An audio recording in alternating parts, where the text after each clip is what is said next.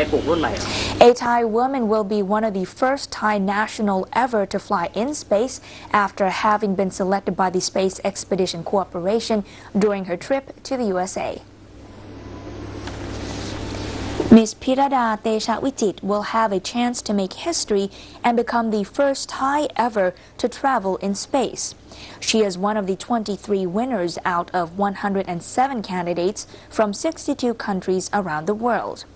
According to her, she was selected by the Space Expedition Cooperation when she attended a space camp in Florida, USA.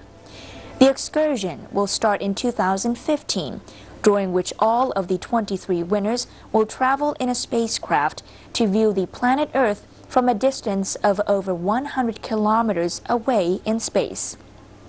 Ms. Pirada, during her space tour, will travel one-on-one with a pilot with speeds of up to 3,550 kilometers per hour into space.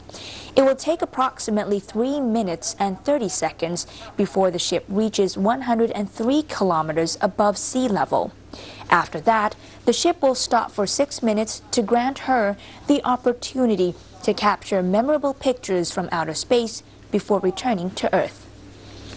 จ